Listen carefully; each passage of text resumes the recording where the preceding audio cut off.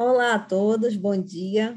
Hoje daremos continuidade ao nosso centro de estudos, onde temos o prazer hoje de receber a doutora Alda Maria da Cruz, do Instituto Oswaldo Cruz, que irá palestrar sobre o hamster dourado como modelo para estudo de infecção por leishmania brasiliense. A doutora Alda possui mestrado e doutorado em medicina tropical pela Fundação Oswaldo Cruz, é especialista em doenças infecciosas e parasitárias tendo cursado residência médica no Hospital dos Servidores do Estado do Rio de Janeiro, é membro titular da Academia de Medicina do Rio de Janeiro, integrante do Instituto Nacional de Ciência e Tecnologia em Neuroimunomodulação, coordenou o programa de pós-graduação em Medicina Tropical do Instituto Oswaldo Cruz, atuou como pesquisadora visitante sênior aqui da Fundação de Medicina Tropical, Dr. Heitor Vieira Dourado, é bolsista de produtividade em pesquisa do CNPq nível 1D, é pesquisadora em saúde pública, atuando atualmente como chefe do Laboratório Interdisciplinar de Pesquisas Biomédicas do Instituto Evaldo Cruz. Tem experiência em área de doenças infecciosas e parasitárias, parasitologia médica e imunoparasitologia, sendo que suas principais linhas de pesquisa versam sobre imunopatogênese da leishmaniose, co-infecção Leishmania HIV e desenvolvimento de vacina contra leishmaniose. Mais recentemente, vem atuando também na linha de epidemiologia, patogênese e educação em saúde em parasitose intestinais. Doutora Alda, muito obrigada por estar aqui com a gente. Já conversei anteriormente, né? É um prazer para a gente estar recebendo você aqui hoje. Acho que no, os nossos alunos terão uma visão muito interessante sobre essa questão do modelo do hamster para a leishmania então, acho que vem a contribuir bastante, tanto para os alunos que possam estar trabalhando nessa linha de pesquisa, como também uma nova forma de conhecimento também nessa doença. Muito obrigada. Tá, tá mudo, acho que tá mudo o som. Isso é uma coisa que a gente ainda não se habituou. Eu, pelo menos, sempre me confundo com os microfones. Mas, Priscila, muito obrigada pelo convite, um prazer enorme estar aqui. Né? Gostaria também de é, parabenizar a nova gestão, né? a doutora Adele, o Felipe Nabeca, o Fábio e a Rosana. É, é óbvio que eu adoraria estar aí presencialmente, né? hoje, no sexta-feira, me lembrando que na época que eu estava em Manaus, eu certamente iria almoçar na casa da, da Graça Barbosa e do Jorge Guerra, comer um pirarucu de casaca lá, e à noite iria para a casa do Marcos Lacerda para a gente tomar um vinhozinho. Né? Então, muitas saudades mesmo de Manaus. Né? É, outro dia eu estava pensando que tem duas cidades em que eu, que eu dirijo bem. Aqui no Rio de Janeiro, né, que é onde eu moro, e em Manaus, Manaus é a única cidade que eu dirijo bem, que conheço, né? Então, esse período que eu passei aí realmente foi, foi uma experiência incrível. Então, para mim, estar tá aqui de volta a Manaus, né, mesmo de longe, é um prazer muito grande. Quando eu puder compartilhar, se me diga. Já pode compartilhar. Então...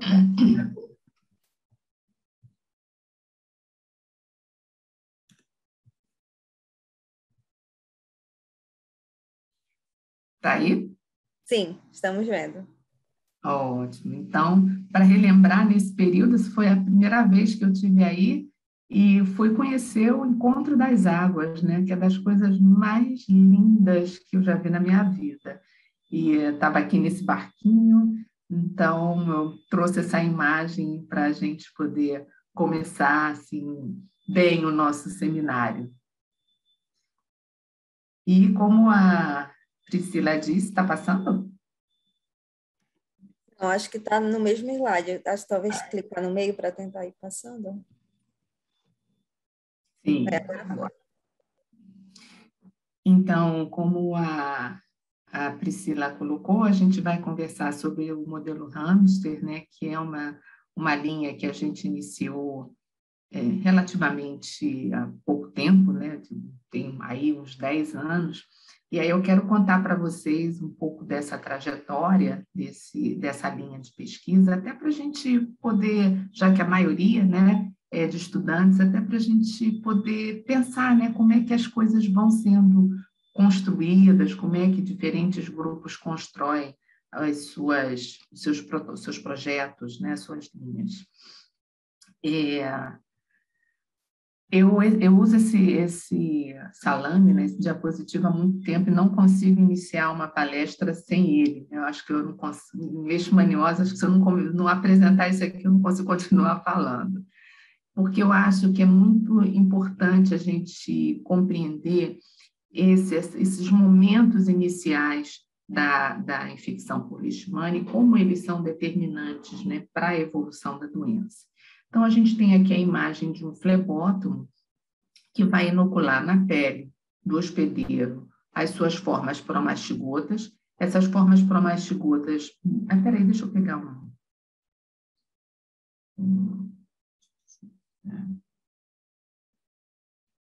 Não, não vou achar que vou usar seta mesmo. Essas formas promastigotas, elas rapidamente elas se internalizam dentro de células é, fagocíticas mas também dentro de neutrófilos. Né? Então, esse infiltrado inicial que acontece nessa resposta inflamatória inicial, que acontece não só pela presença do antígeno, mas também pela presença é, de componentes da saliva do, do flebótomo e também pela solução de continuidade que acontece né, quando a probóscide é inoculada aqui na pele, ela vai produzir essa reação inicial e, obviamente, dependendo de uma série de fatores, né, dentre eles a própria carga parasitária e o tropismo da espécie de leishmania que está sendo inoculada, o indivíduo vai evoluir, então, para uma forma, é, vai progredir para a doença, né? Se for uma, uma espécie dermotrópica, é, vai evoluir para leishmaniose tegmentar, e se for uma espécie viscerotrópica, para leishmaniose visceral. É, em relação à leishmaniose tegmentar, né, essa é a forma clínica mais comum, é uma lesão ulcerada, é uma úlcera bem delimitada, né, com, com os bordos aqui bem visíveis e um fundo granuloso, por vezes com infecção bacteriana secundária, sendo essa uma forma com uma evolução normalmente bastante benigna e que é, pode apresentar cura espontânea ou normalmente responde muito bem ao tratamento convencional com a droga de primeira escolha, que é o antimonial.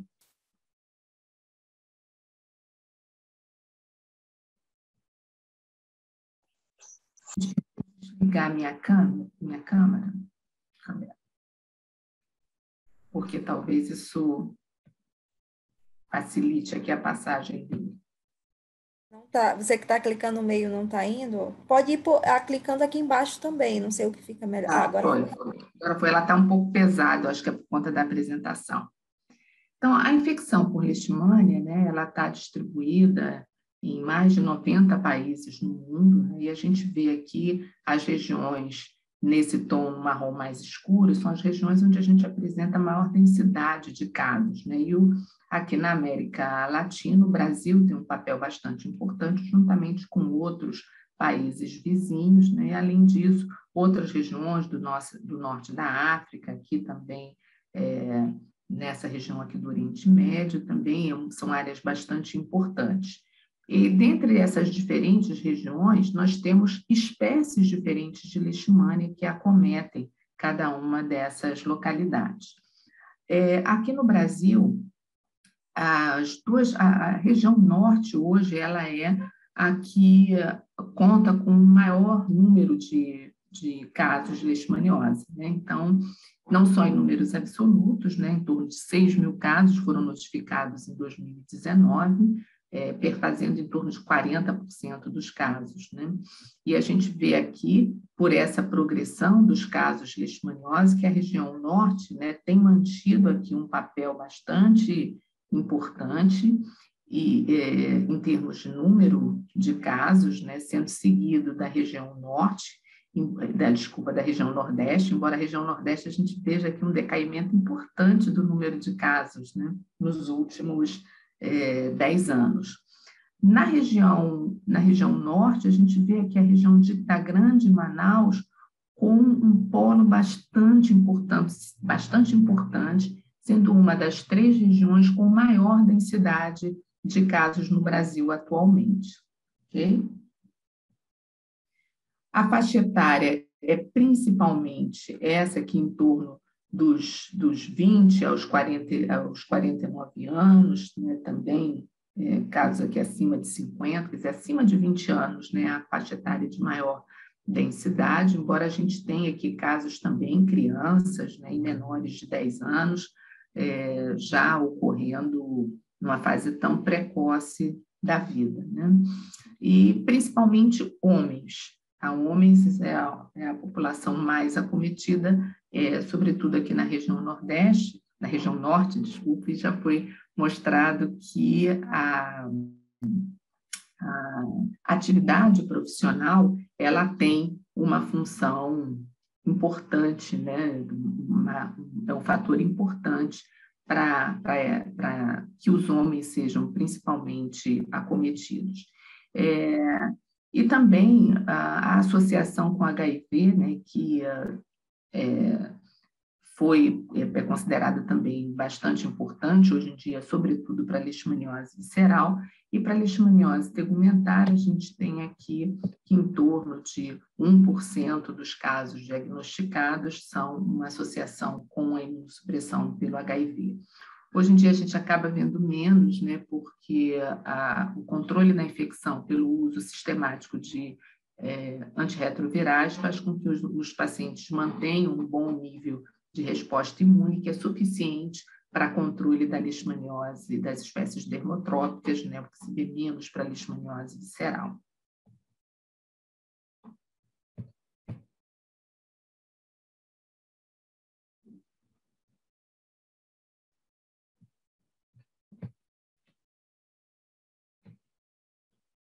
Muito bem, em termos das espécies de leishmania, hoje uma última revisão do, do professor Shaw mostra que são, é, atualmente no Brasil, oito espécies são, trans, são encontradas na, no nosso território e na região norte elas ocorrem de forma simpátrica. Então, dentre essas oito espécies, a gente pode aqui chamar a atenção da infecção por leishmania brasiliensis, guianenses e amazonenses, como as principais espécies, mas, na medida em que a gente tem um maior número de pesquisadores é, caracterizando essas espécies, a gente vê que esse número pode aumentar, inclusive com migração de casos da, da regi das regiões da fronteira, né, da fronteira norte para o Brasil, outras espécies vêm sendo detectadas. Então, a gente tem aí é, exemplos de outras né, que vêm ganhando cada vez mais importância, como a Leishmania naifi, a Leishmania Shaw, a Leishmania Lindenberg, que a gente vem aumentando o nosso conhecimento a respeito dessas doenças, mais dessas infecções. Mas a Leishmania brasiliensis é a que tem a maior importância no território nacional, porque é a espécie que é majoritariamente encontrada em todas as regiões, é, e particularmente aqui na região norte, a Leishmania goianensis tem uma importância bastante, bastante grande, né? é, em termos de número de casos. É, o, a grande diversidade né, que existe nas relações, na relação parasito-hospedeiro entre leishmania e, e, os seus diferentes hospedeiros, seja ele vetor né, ou os, os hospedeiros é, mamíferos, roedores, etc., né, é, faz com que o, o, entendimento da leishmaniose seja uma, muito complexo, né? Porque a gente tem uma diversidade de espécies de leishmania, nós temos uma diversidade de vetores que transmitem ah, o parasito, né? Nós temos aqui a diversidade da nossa população, né, com diferentes graus de suscetibilidade à infecção. Nós temos os cenários, né, os cenários tanto podem ser a transmissão é, dentro das florestas, como pode ser uma transmissão mais periurbana ou urbana. E as próprias alterações geográficas têm modificado esses cenários. Então, a construção de, de grandes usinas hidrelétricas, no passado, a construção de ferrovias, rodovias, tem mudado, então, o panorama é, epidemiológico das, das leishmanioses. É, particularmente em relação à leishmaniose tegumentar, ou leishmania brasiliensis, a gente tem aqui um cenário periurbano, é uma região aqui do Rio de Janeiro, aonde a gente vê aqui ao fundo uma montanha, uma área de mata atlântica, já com uma proximidade muito grande com o domicílio e aqui um cenário muito comum, que é a plantação de bananeiras, esse domicílio que é muito propício ao desenvolvimento de, de flebótomos. Né? E a associação em determinadas áreas, como a gente tem aqui na, na região sul do, do estado, em Paraty, onde as aldeias indígenas também vivem em intimidade com essa floresta. É, e a doença, né, a infecção, ela pode ter diferentes cursos. Então, após a infecção, o indivíduo pode evoluir com uma forma assintomática ou subclínica, ou então ele pode evoluir para uma doença é, estabelecida. Okay? É, esse indivíduo que faz essa forma clínica, ele pode evoluir para cura, como eu disse, com tratamento espontaneamente, e tanto os indivíduos que desenvolvem a doença, quanto aqueles que fazem uma forma assintomática ou subclínica, eles desenvolvem uma, uma resposta imune ao parasito que a gente pode identificar pelo teste de Montenegro, que é uma, uma reação de hipersensibilidade tardia aos antígenos de leishmania. O que é uma curiosidade, porque o indivíduo ele desenvolve a doença a despeito dele ter uma resposta imune estabelecida contra o parasito o que mostra que a, a relação né, de, da qualidade dessa resposta imune é que vai ser determinante para a evolução da doença. É, e outra curiosidade é que o parasito persiste, né? Então, se ele persiste, ele pode vir a reativar no futuro, como acontece quando o indivíduo apresenta uma imunossupressão, por exemplo, pelo HIV. Né? E várias perguntas né, são ainda estão sendo ainda feitas, né, apesar de todos os estudos que nós, de todo o conhecimento que já se acumulou, mas a gente ainda precisa entender alguns aspectos. Por exemplo, uma vez o indivíduo estando infectado, quem é o indivíduo que vai desenvolver a doença? Né? Quem são aqueles que vão conseguir controlar a infecção e por quais motivos, né? E quais são aqueles que vão evoluir com uma infecção progressiva? Isso precisa ser esclarecido. É, daqueles que desenvolvem a doença, né? Quem vai evoluir para a cura clínica? Nós sabemos que a maioria vai evoluir bem, mas há aqueles que vão evoluir com formas mais graves, com formas persistentes, com, com, com é, resistência ao tratamento, com falha terapêutica, né? Isso é muito comum aqui na região norte, onde a gente vê que tanto por infecção por brasilienses quanto por guianenses, os indivíduos apresentam uma alta taxa de, faixa, de falha terapêutica, em torno de 50% dos casos, o que é bastante alto. Né? Bom, é, então essa questão de quem vai evoluir para a cura clínica também é uma questão muito importante. Daqueles que é, conseguem controlar a infecção tendo ou é, espontaneamente, né, ou então é, a, a, partir do tratamento, aqueles que vão desenvolver uma forma clínica mais grave, que é a leishmaniose mucosa. Essa acontece com uma estimativa de 3 a 5% dos casos que são infectados, das pessoas que são infectadas, independente delas evoluírem ou não com doença. E essa forma clínica é uma forma clínica bastante mais grave, que é vista principalmente na leishmania é, brasiliensis, mas também foi muito bem caracterizada recentemente pelo grupo do Dr. Jorge Guerra, é, também associada à leishmania guianensis. E Então, desses indivíduos que fazem a forma mucosa, que é uma forma que é mais difícil de ser tratada, a gente tem mais resistência ao tratamento, quem são aqueles que vão ter uma boa resposta terapêutica, que vão evoluir bem? E que são, quem são aqueles que, a despeito de terem uma boa resposta ao tratamento, vão é, recidivar posteriormente? Então, são todas questões que ainda né, circundam aquele, a, a, as leishmanioses e que a gente vem buscando, né, junto com outros grupos, entender esses diferentes desfechos.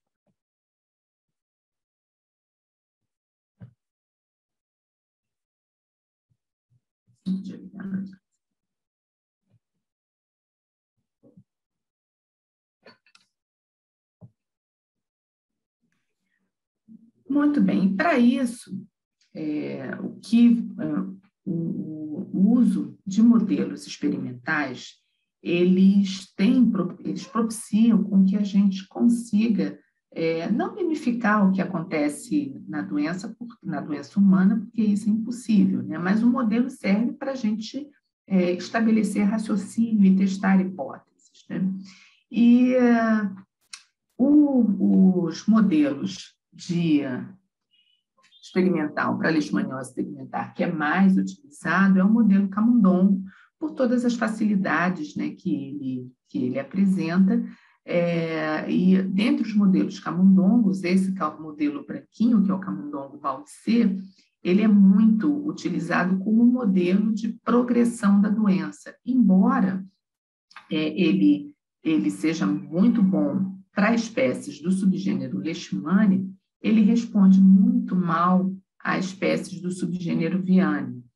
Isso porque o modelo Murino, ele desenvolve uma lesão, principalmente o, os, os, grupos que estabeleceram esse modelo que é muito interessante, que é o modelo de infecção na orelha, eles desenvolvem uma lesão progressiva, embora uma lesão pequena, mas que se cura espontaneamente. Então, para determinadas abordagens, como testes de, de, de drogas ou testes de vacinas, ele acaba é, não sendo talvez muito adequado, porque justamente ele já tem como default controlar essa a infecção. Já o modelo hamster, não. O modelo hamster ele desenvolve uma lesão progressiva e ele tem lesões com um aspecto clínico muito parecido com o aspecto clínico que a gente vê nas lesões cutâneas humanas. É, então, Quais seriam os pontos positivos que a gente encontra nesse modelo hamster? Ele é altamente suscetível à infecção por espécies do subgênero Viania, tanto que ele é um animal utilizado, era utilizado bastante no passado, né, para diagnóstico, né, tal a, a suscetibilidade dele à infecção por, por brasilienses.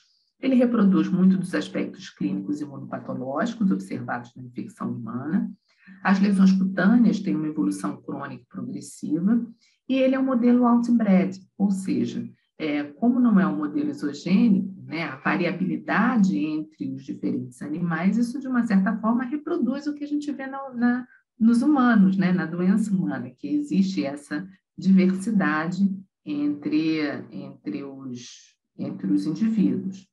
Por outro lado, ele tem as desvantagens de ser um modelo, por ser um modelo outbred, né, ter essa grande variabilidade, variabilidade, a gente precisa é, entender quais são, né, qual é a, a, as possibilidades de, de desfecho que existem nessa, com essa, esse modelo, e uma escassez de reagentes imunológicos, né, o que dificulta as análises de, de resposta imune.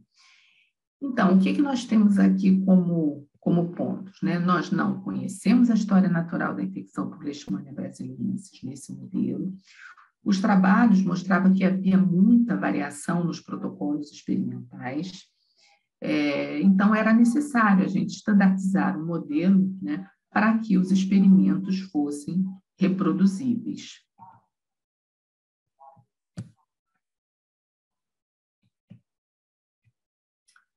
É, o primeiro trabalho, então, que nós, nós é, desenvolvemos, nós pegamos fizemos diferentes experimentos né, em diferentes tempos, inoculamos esses, esses, esses animais com 10 a sexta promastigotas e vimos que eles desenvolviam sim uma lesão progressiva, mas que variava muito entre os diferentes experimentos. Né? Então, a gente tem aqui grupos de animais que evoluíram com um tamanho de lesão aqui de quatro, isso aqui foram, acho que, oito experimentos diferentes, e outros que desenvolviam lesões aqui em torno de um.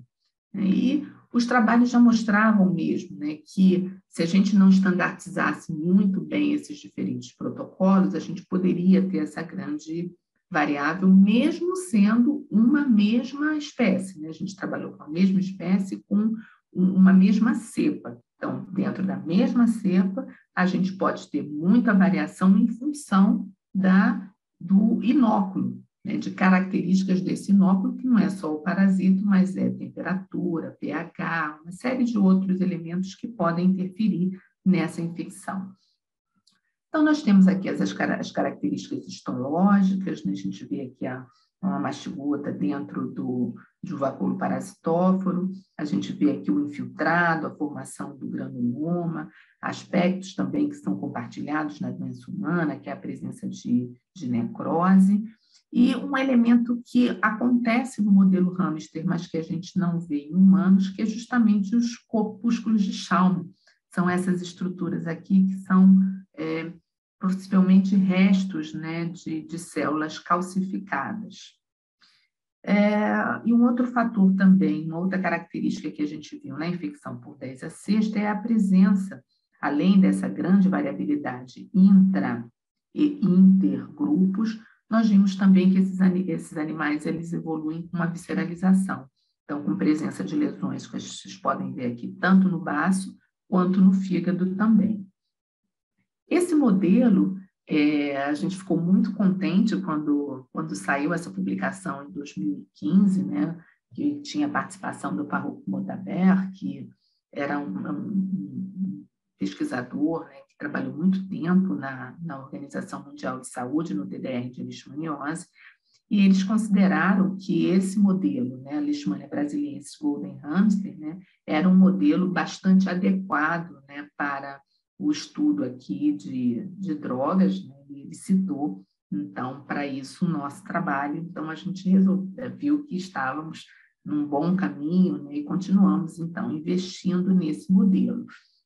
Nesse momento, então, é, quando nós percebemos essa grande variabilidade aqui intra e intergrupo, e, essa, e a, a visceralização com esse núcleo de 10 a sexta, nós tínhamos duas, duas questões. Nós precisávamos estandardizar esse, esse núcleo, ou seja, diminuir ao máximo a variabilidade do, do conteúdo que estava sendo inoculado e também entender qual seria o menor inóculo, já que aparentemente o inóculo de denta sexta ele era muito agressivo, né, produzindo essas, essas visceralizações, por exemplo.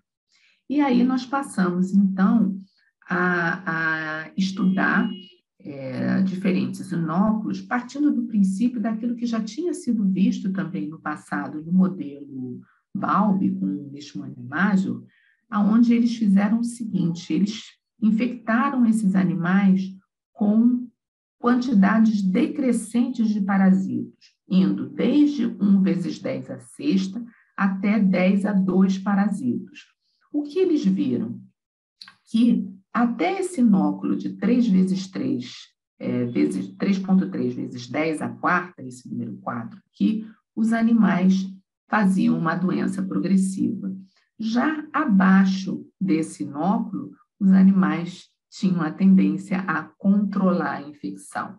Então, mostrando né, que é, realmente a, a estabilidade né, dessa, dessa resposta imune né, ao, à infecção, ela era, era seria, então, determinante é, para esse controle. E parecia haver, então, o que a gente chama de um threshold, né? então, um limite que, é, que determinaria se o indivíduo iria evoluir por uma forma progressiva ou se ele iria controlar essa doença. Esse trabalho é muito bonito, foi uma science em 1992.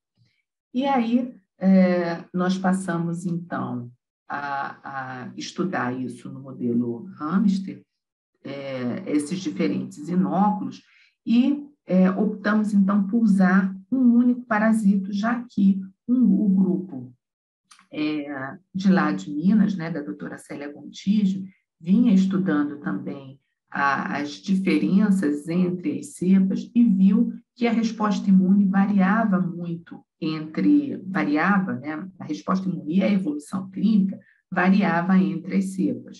Então, eles concluíram aqui que a diversidade genética já descrita para essas amostras poderia ter um papel importante né, nas diferenças observadas no curso clínico. Então, justamente para eliminar esse, esse risco da diversidade genética, nós passamos a estabelecer com uma única cepa de parasito. Muito bem, então essa foi, foi então, vou mostrar para vocês agora os resultados de quando nós usamos esses três inóculos, foram 10 a quarta, 10 a quinta e 10 a sexta. Abaixo de 10 a quarta, é, nós não, não identificamos lesões, e nesse momento, então, a gente ainda não é, estamos investindo em outras estratégias para esses inóculos mais baixos. Mas então, o que, que nós vimos? Em termos de tempo de início das lesões, conforme era esperado, o início da lesão ele foi mais recente nos animais que receberam uma, uma carga infecciosa maior, de 10 a sexta, em comparação a 10 a quinta e 10 a quarta.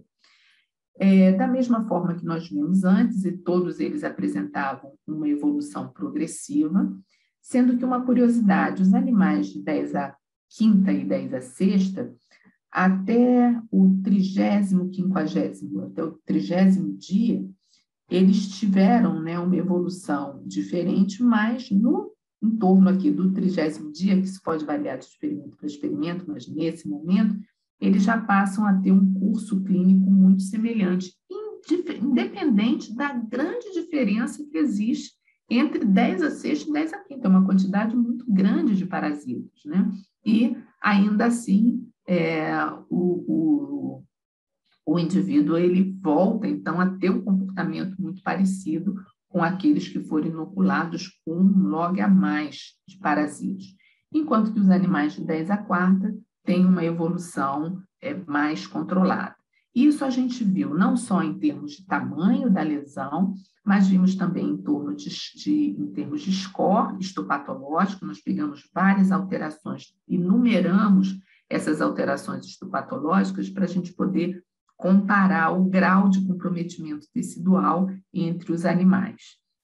E vimos aqui que o grau de comprometimento era muito maior nos animais inoculados com 10 a quinta e 10 a sexta, em comparação ao 10 a, ao 10 a quarta. Né? Isso após é, lá acima de 100 dias, né? em torno de 100, 110 dias pós-infecção.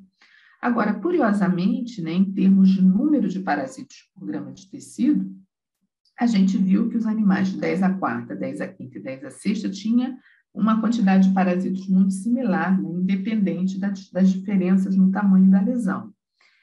É, da mesma forma, tá, em termos de anticorpos anti-leishmania, que é um, um, um parâmetro de é, gravidade da lesão, né? então os indivíduos que têm a doença, eles têm altos níveis de anticorpos, então isso também não diferiu entre os três inóculos, assim como não diferiu nessa fase final da infecção a quantidade de, de é, RNA para interferon gama, né, uma citocina que é ativadora de macrófagos e que é, teoricamente iria contribuir para o controle da infecção, mas aparentemente aqui isso não foi suficiente. É, e também da outra citocina, que seria uma, é uma citocina contrarreguladora, né, que era a IL-10, também não houve grande diferença entre esses animais. Muito bem. Quando a gente vai ver aqui o aspecto dessas lesões, é, e nós fizemos, categorizamos entre nodular, nodular ulcerada e uma ulceração plena, nós vemos aqui que é, os animais que são inoculados com 10 a quarta têm um percentual daqueles que evoluem com formas ulceradas menor em comparação com 10 a quinta e 10 a sexta, que novamente tem aqui um, um percentual que é bastante comparável entre os dois grupos, e uma relação inversa a gente vê para essas lesões nodulares. Né? Lembrando que a ulceração ela é uma característica né, da lesão com um processo inflamatório muito intenso. Então, o processo inflamatório muito intenso leva a um dano tecidual maior, que é visto né, a partir dessa perda de tecido aqui de ulceração. Então, isso aqui também é um sinal de gravidade. É, e nós vimos também que o tamanho da lesão ele se correlacionou positivamente com o número de parasitos. Né? E uh, isso tudo, então, nós vimos nos 110 dias de infecção. E uh, como a gente já sabia da literatura, né, que as fases iniciais da infecção eram muito importantes, né, na, na influência que elas teriam no curso evolutivo, é, e nós vimos isso quando nós é, comparamos lá aquelas fases de evolução da lesão iniciais, né, antes dos 30 dias. Né? Então, essa questão das fases iniciais, é, para a gente também é, se tornou uma questão importante para a gente esclarecer, né? O que estava acontecendo aqui nesses primeiros momentos, né? Que iriam ditar como aconteceria a evolução desses animais. Para vocês terem uma ideia, também artigos bastante antigos, aqui de 1995, né? é, esses autores, né? mostrando então a diferença é, nas fases iniciais dos animais Balbicê, que são aqueles que evoluem com uma doença progressiva, dos animais C57 Black 6, que são os animais que são capazes de controlar a infecção. À época também o que se tinha disponível era a expressão gênica de RNA de citocinas, e o que foi visto é, é que, por exemplo, essa citocina, a IL-4, né, que é uma citocina também envolvida né, na progressão da infecção, então ela, ela, ela propicia com que a, o parasito se multiplique é, com maior intensidade. Então, quando a gente comparou esses dois animais, nós vimos que justamente o balbicê, esse animal aqui que tinha uma doença progressiva, era o que tinha uma expressão maior de RNA para IL-4 em comparação com o C57 Black 6, que a gente quase não via expressão dessas citocinas. Por outro lado, o Black 6 apresentava aqui uma expressão ainda pouca, mas presente, tá? de interferon gama, mostrando, e enquanto no BALB6 isso quase não era visto, mostrando que a presença do interferon gama aqui, nessas fases bem iniciais da infecção, deveria ter algum papel na ativação do macrófago no controle da infecção, coisa que é justamente o, o contrário do que aconteceria no BALB-C. Então, isso é um exemplo para mostrar para vocês como as citocinas que são expressas na fase muito inicial da infecção podem interferir com esse processo e a gente vai voltar a lembrar esse conceito mais antigo um pouquinho mais adiante. Né? A outra coisa interessante é que eles verificaram que existia uma fase silente, uma fase silente bastante prolongada. E a gente vê aqui, comparando o número de parasitos é, por tecido e o tamanho da lesão, tamanho da lesão aqui em branquinho, e o número de parasitos por tecido nessa bolinha preta, mostrando que os parasitos eles estavam presentes na lesão antes mesmo do delas serem visíveis clinicamente, tá? É, e que nessa nesse pico aonde nós tínhamos aqui o pico de, de, de lesão, tá? É onde nós tínhamos também o pico de interferon gama e L4, tá? Então mostrando aqui como que o, o, o trabalho, né, a relação entre essas duas citocinas ia ser a relação entre essas duas citocinas ia ser importante para essa evolução, mostrando aqui uma diminuição da, da IL-4 e uma manutenção dos níveis de interferon gama, ok? Então, o que, que eu quero dizer com isso para vocês? Que a infecção do parasito, né, a, a, proliferação, ela antecede o aparecimento da lesão, tá? e a indução dessas citocinas com, com, na, a, forma com que essas citocinas né, vão, vão se autorregular e a manutenção delas ao longo do tempo é, vai ser um fator também bastante importante para o controle dessa infecção. É, ratificando aqui a importância né, das fases iniciais na evolução da infecção, isso foi visto tanto em modelos, é, é, foi visto muito em estudos experimentais, há estudos em humanos também mostrando isso, mas é muito difícil a gente estudar essas etapas precoces nos pacientes, né? Daí a importância da gente ver isso no modelo hamster e nós passamos, então, a, a estudar essas fases mais pre precoces, e esse artigo foi publicado esse ano, na Frontiers in Immunology. Qual foi o desenho experimental que nós fizemos? Nós pegamos fêmeas, então, inoculamos com nós três, os três inóculos, que já falamos anteriormente, com essas formas promastigotas, e fomos estudar esses animais. É, as quatro, 24, com 15 dias, 30 dias e 50 dias. A esse primeiro momento aqui nós chamamos de fase inicial, 15 e 30 dias nós chamamos de fase recente, né? Isso o, o grupo do Dr. Edgar também vem caracterizando clinicamente as lesões de pacientes como fase recente. Então, é, antes dos 30 dias, então nós buscamos usar o mesmo parâmetro, e uh, a fase tardia, então, essa fase de acima dos 30 dias, que nós vamos marcar aqui pela avaliação dos 50 dias pós-infecção. Muito bem, então, nós pegamos aqui desde esses primeiros momentos, né, é, mimificando o que acontece na infecção natural e vamos ver o que estava acontecendo aqui nesses tecidos nesse momento da infecção. É, nós vamos ver, então, através de imunistoquímica, a detecção de antígenos de leishmania nessa fase precoce. Nós esperávamos encontrar aqui formas promastigotas, é, já nessas, nesse momento aqui de quatro horas pós-infecção, mas qual a nossa surpresa, e aí vocês vão poder comparar aqui com o controle negativo que está todo azulzinho, no, nas quatro horas pós-infecções, vocês veem aqui uma marcação meio vermelho acastanhada. Então, nós não vimos parasitos íntegros, nós vimos é, uma marcação difusa que mostra que houve uma grande destruição tecidual, isso aqui é no inóculo de 10 a 15, uma grande destruição de parasitos, e o que nós conseguimos detectar foram antígenos dispersos nesse segmento. É, nós fizemos também alguns experimentos para a gente analisar para onde estavam indo esses parasitos, né? e nós vimos parasitos nos linfonodos, mas ainda não aprofundamos esses estudos.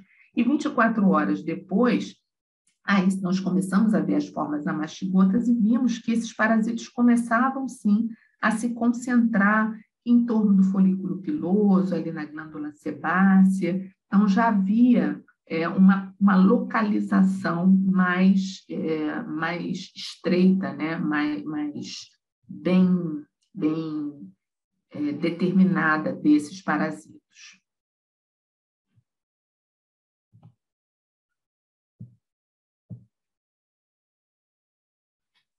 Umas imagens mais pesadas aqui, custa para passar. Vamos lá. Bom, e aí vamos passar a ver como foi a evolução desses animais após essa fase inicial. Depois a gente vai mostrar para vocês como é que foi a, a, a expressão de citocinas nesses diferentes momentos. Vamos ver agora do ponto de vista da evolução clínica. Então, nós vimos aqui uma, uma, uma evolução progressiva, aqui nos 50 dias, é, nós identificamos nesse experimento né, que, em termos de tamanho de lesão, os animais 10 a quarta tinham uma, um controle da lesão, embora nós tivéssemos aqui animais que tinham um tamanho de lesão comparável àqueles observados nos animais inoculados com 10 a quarta e com 10 a quinta, tá? É, pô, então, embora em termos de tamanho a gente tivesse aqui uma, uma relação direta com o inóculo, em termos de aspecto de lesão, em termos de score histopatológico, em termos de produção de imunoglobulina, os animais inoculados com 10 a quarta e 10 a quinta tinham uma evolução bastante comparável, ok? Muito bem, a partir daí, é, eu disse para vocês que a gente tinha uma, uma dificuldade né, em termos de insumos imunológicos, né, e o que uh, é, a facilidade que nós, a facilidade que nós tínhamos era quase que voltar à época lá de 1992, 95, na década de 90, e estudar a expressão gênica. Né? E era, nós pegamos, então, diferentes primes que já tinham sido desenhados por outros grupos e desenvolvemos uma metodologia, né? e esse trabalho foi conduzido pelo doutor Otacílio Moreira, é, de lá do Instituto Oswaldo Cruz, em colaboração com o nosso grupo, é, então, pela expertise dele, nós desenvolvemos, então, uma técnica de PCR, onde nós conseguíamos ver no mesmo fragmento tanto a, a, expressão de citocinas e enzimas, quanto também a expressão de DNA, para então nós a, analisarmos a carga parasitária nesse mesmo fragmento. Então, nós vimos a inose arginase e diferentes citocinas. Em relação à carga parasitária, é, nós vimos que nessa, já com 15 dias, nós já tínhamos aqui uma, uma expressão bastante importante, né, em termos de, de equivalente de parasitos por, por miligrama de pele, é, na, na, pele desses animais. Nós não fizemos isso com 4 e 24 horas, porque a gente tinha antígeno daquilo que tinha sido inoculado. Então, é, esse resultado não seria muito fidedigno, porque ainda teríamos antígenos do inóculo. Mas, muito bem, com 15, 30 e 50 dias, então, nós tínhamos já aqui uma carga parasitária bastante é, considerável, né, que meio que foi mantido ao longo do tempo. E eu queria chamar a atenção de vocês que nós já tínhamos essa carga parasitária mesmo antes de termos lesões bastante evidentes, né? Então, mostrando que a replicação parasitária, aqui também nesse modelo, ela antecede o aparecimento das lesões da mesma forma que foi visto no modelo de Leishmania major. Muito bem. É... E com relação às enzimas que participam da metabolização da L-arginina, né, que é um componente muito importante para é, a explosão respiratória dos macrófagos, né, que é tão importante no controle da, na produção de óxido nítrico, que é, é um componente importante para a destruição de formas promastigotas. Então, como é que se dá a dinâmica né, dessas enzimas envolvidas no controle da infecção? Então, a gente tem, elas competem por um substrato comum, que é a, que é a arginina, é, e quando a gente tem uma maior produção de nós, isso vai levar à produção de óxido nítrico, que vai é, contribuir para o controle da infecção. Por outro lado, quando a gente tem uma maior indução, uma maior produção de arginase, essa arginase ela vai é, produzir ureia e ornitina, que o contrário, é, ao, do contrário, elas aumentam a replicação do parasito aí mantém, então, a infecção. O que, que nós vimos aqui? Que a produção de arginina, de arginase, ela foi elevada durante todo o tempo da infecção.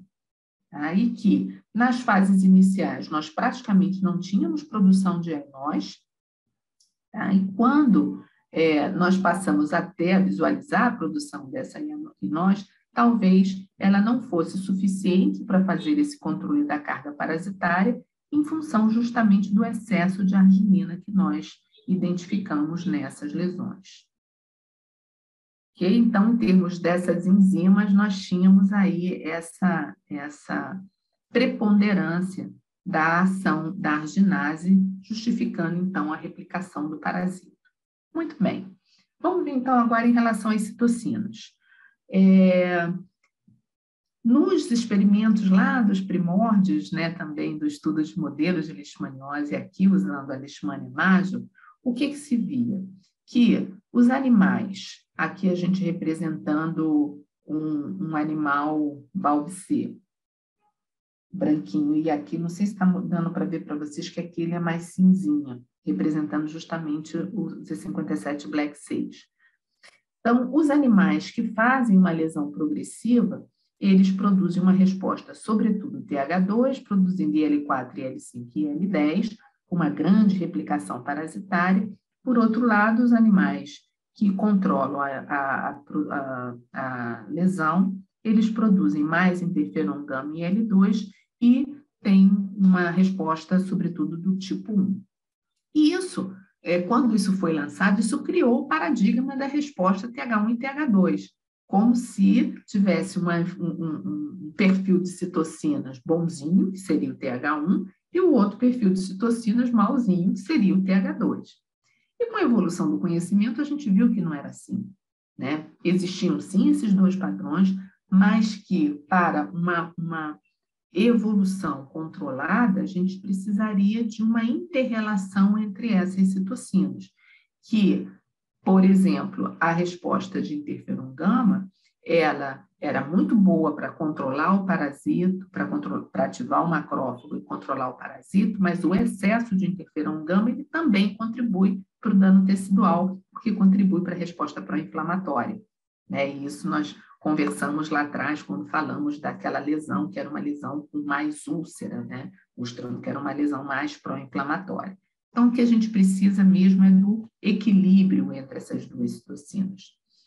Então, assim, nós vimos aqui a evolução de várias dessas citocinas, é, é, aqui tanto nos momentos iniciais, e vimos aqui que em, é, os animais com 10 a sexta, por exemplo, eles começam já a, a produzir L4, uma quantidade bastante alta aqui na progressão, e para facilitar a visualização dessas barrinhas todas, né, nós fizemos aqui essa, esses desenhozinhos para mostrar para vocês o que estaria acontecendo. Então, nesse momento inicial do inóculo, né, o que, que a gente encontra, o que, que o parasita encontrava em termos de expressão gênica? Ele encontrava a expressão gênica dessas citocinas, sendo que já a expressão de TGF-beta e de, de arginase já era elevada. Então, isso aqui é a expressão constitutiva da pele, é o que o parasita encontra quando ele vê, quando ele chega na pele, ele encontra TNF, L4 e L6 e uma alta expressão de TGF-beta, que também é uma citocina que está associada com a progressão da infecção, e a arginase, que é aquela enzima que também aumenta a progressão da infecção. Muito bem. E aí, o que a gente vê, comparando aqui um animal com 10, inoculado com 10 a quarta com aquele com 10 a sexta, é que os animais inoculados com 10 a sextas, eles aumentam muito a expressão de L4 e L6 e L10, tá? E que essa expressão é sempre mais alta do que os animais inoculados com 10 a quarta. O 10 a sexta aqui para todas as citocinas. O 10 a quarta, a gente só começa a ver um aumento mesmo de, de das citocinas é, interferon gama L10 e L6 lá nos 50 dias. Tá? E é, qual era a nossa questão? Se as citocinas em si elas não eram capazes de explicar para a gente essa evolução. Então a gente queria entender como que era a relação entre essas citocinas. E para isso nós fomos avaliar esse mapa de calor, né, que mostra que é, não, não apenas uma citocina em si, mas todo o conjunto dessas citocinas, o que, que isso está representando né, em termos de, de modulação dessa expressão. E aí, mostrando aqui em termos de dias, 4, 24, 15, 30 e 50 dias, nos diferentes inóculos, né? Vocês vejam aqui de 50 dias, 10 a quarta, 10 a quinta e 10 a sexta. Então, a gente já vê aqui que a expressão gênica é muito maior é, nos animais com 10 a quinta e 10 a sexta, e que isso vai se modificando ao longo do, ao longo do tempo. Tá? Então, ela vai evoluindo. Você vê aqui, com 24 horas, a gente quase não tinha expressão de muitas citocinas, a gente vê aqui a arginase com um papel importante de produção, a própria IL-4, né, independente do inóculo aqui com uma expressão elevada, mas quando a gente chega lá nos 50 dias, os animais com 10 a quinta e 10 a sexta, de uma forma independente, têm uma alta expressão de todas as citocinas, enquanto no 10 a quarta a gente tem alguns que têm uma expressão maior e outros com uma expressão menor. Como é que a gente pode traduzir isso tudo? Nós vamos fazer uma clusterização. Tá? Vamos ver que, independente do inóculo, como é que esses animais se agrupavam, tá? tanto é, em termos da, da expressão de citocinas, e vamos ver qual é a correlação que isso tinha com a evolução clínica. Então, nós criamos aqui clusters 1, 1A1 e 1A2, 1B, 2A, 2B1 e 2B2. Certo? E fomos comparar como era a evolução desses diferentes clusters em termos de tamanho de lesão, é, aspecto da lesão, score histopatológico, imunoglobulina e carga parasitária. E vimos aqui que tinha, sim, um, uma correlação com, com o tempo de, de evolução, tá? Mas é, em termos de comparar os grupos entre si, nós vimos que a única diferença que nós encontramos foi em termos da carga parasitária, aonde aqui nós temos os grupos 2B1 e 2B2, aonde claramente o 2B1 tinha é, agrupava os animais com uma carga parasitária mais baixa, enquanto que o 2B2 agrupava os animais com uma carga parasitária mais alta. E aí, é, eu tento, mas não consigo, gente. Tem que realmente, não posso aparecer para vocês, só no final. E aí, o que, que nós vimos em termos desses dois clusters, né? Desse aqui, 2B1 e do 2B2. O que, que diferenciava esses dois clusters? era aqui, olha, a expressão de L6 e de L4, principalmente L6, que era muito mais baixa nesse cluster B1 em relação ao B2, e nós vimos aqui que a expressão de L4 também era mais baixa nesse cluster B1. Então, nós já estamos aqui, já caminhando aqui para o nosso final, né? É, como, como é, a gente agora foi passar a fazer assim mais análises estatísticas para tentar entender esses resultados em rede. Então, as análises multivariáveis mostraram é, que nós fomos ver que é, a influência de variáveis independentes na IgG e nós citocinas no tamanho e na carga parasitária, mas o que nós vimos, o que nós conseguimos identificar é que a expressão gênica de interferon gama foi o que influenciou positivamente o tamanho da lesão. E nenhuma citocina foi associada à carga parasitária, a despeito da gente ter visto IL4 e IL6 ali parecendo estar associado com, uma, com o controle. E aí nós fomos ver, então, essa análise em rede. O que é essa análise em rede? Nós pegamos todos os parâmetros que nós estudamos. Tamanho da lesão, carga parasitária, score histopatológico, IgG, é, arginase, AINOS e todas as citocinas e fomos fazer uma, um, é, uma análise de correlação múltipla entre, essas, entre esses parâmetros. Fizemos isso com 15, 30 e 50 dias, com os três inóculos.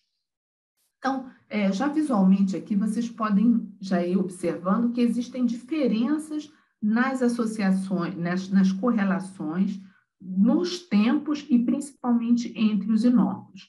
Mas o resultado mais interessante que nós obtivemos foi justamente aos 50 dias.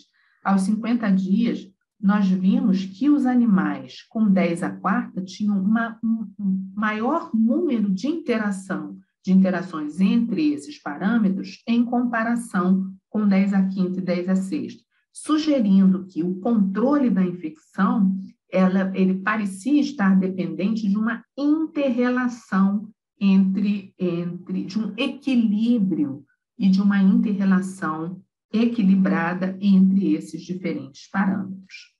E aí nós vamos fazer mais uma coisa.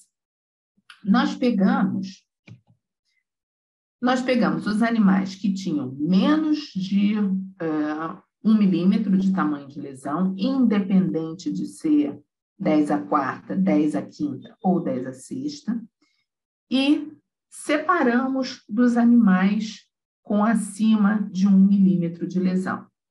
Tá? E fomos pegar esses mesmos parâmetros, né, dos animais que tinham controle daqueles que tinham uma doença progressiva. E o que, que nós vimos? Que, independente do inóculo, os animais que apresentavam uma rede mais intensa de correlações foram aqueles que conseguiam controlar a infecção em termos de tamanho. E com isso, nós, opa, nós concluímos que no modelo Leishmania brasiliense hamster, a baixa carga parasitária estava associada com lesões menos graves. E isso poderia estar mostrando é, a suscetibilidade individual. Então, não só a carga infectiva, mas a capacidade do próprio indivíduo em controlar essa infecção era determinante para o controle dela, tá? para determinar o curso clínico. Vimos que IL-4, IL-6, IL-10 e TGF-beta né, foram citocinas associadas com progressão, enquanto o interferon gama parece estar relacionado com dano tecidual.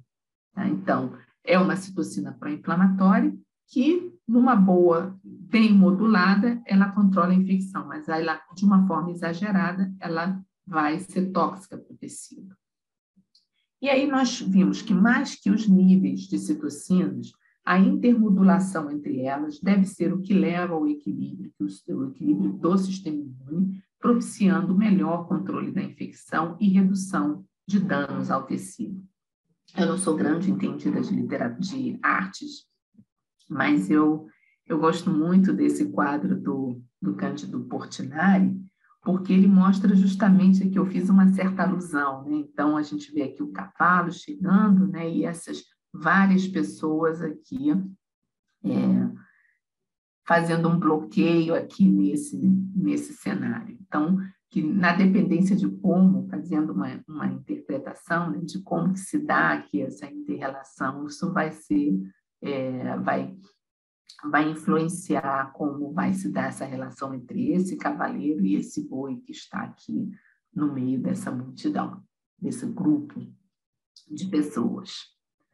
Bom, queria então apresentar para vocês as pessoas que participaram desse, desse, pelo menos dessa última fase aqui do, do trabalho do modelo hamster. Então, nós temos aqui o Otacílio, que é do Laboratório de Biologia Molecular e Doenças Endêmicas, né? que é o nosso, nosso expert nessas análises gênicas, de expressão gênica.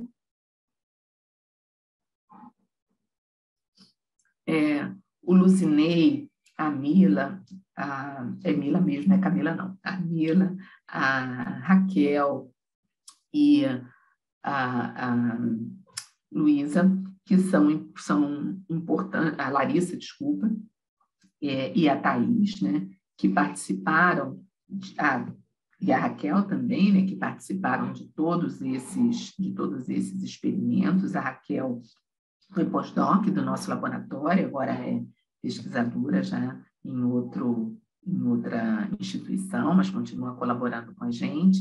É, a Márcia Oliveira, aqui do nosso laboratório, que participou da, da das análises é, né, e da, dessa avaliação in situ dos tecidos, o doutor Eduardo, que vem trabalhando aí juntamente com o Luzinei nesse modelo, sobretudo nos estudos de vacinas.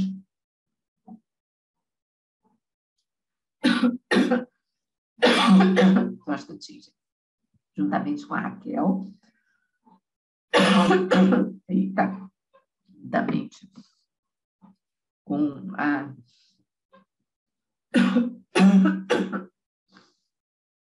Ave Maria juntamente com a Andrea. É, o Hermano vem auxiliando a gente nas análises estatísticas, tem sido importantíssimo nesses resultados. E o doutor Adriano, é, que também hoje está no Laboratório de Pesquisa Clínicas e Micobacterioses lá no INE, mas que continua trabalhando conosco, que foi quem deu início e continua trabalhando com a gente nesses estudos de leishmaniose. Agradecer aqui as nossas agências financiadoras, tá? tanto o CNPq, FAPERJ, CAPES e a própria Fiocruz, no Instituto Oswaldo Cruz, e dizer para vocês que a gente está sempre aqui, nesse clube de esquina, buscando enxergar o que está atrás desses, desse muro. Então, era isso, gente, que eu tinha para conversar com vocês. Estou aqui aberta para as dúvidas. Nosso castelo, né? Alda, parabéns pela sua apresentação. É... Espero não ter me alongado muito. Não, foi ótimo. Acho que você mostrou dados é, com relação principalmente à concentração bem relevante, bem interessante também para o contexto da doença, né? É, deu para ter uma visão geral de diversos, diversos fatores realmente, tanto da imunomodulação, também como acontece a questão do dano tecidual, então bem interessante mesmo os dados que você trouxe para a gente hoje aqui na palestra.